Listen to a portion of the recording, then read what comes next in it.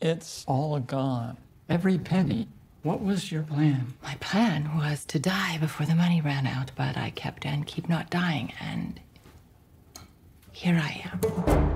The hens are clucking. Are they saying I'm broke? They are.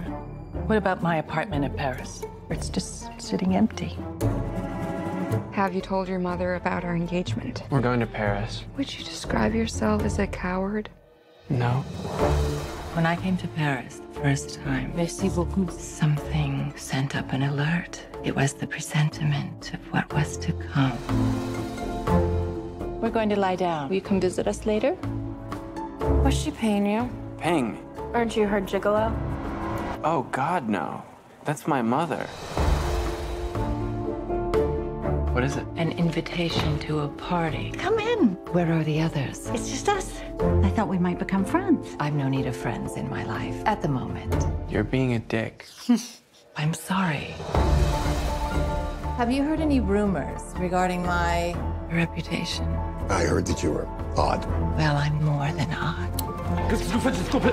L'addition, s'il vous plaît. There's a goodly part of me that wants to set this building on fire. What do you think of that?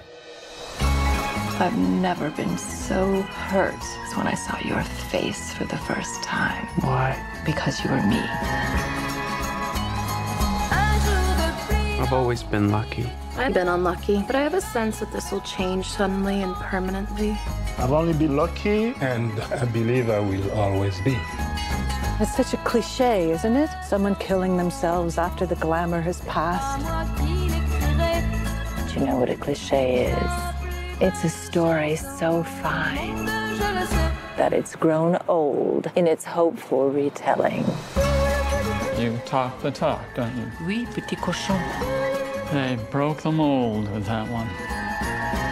Cochon means pig.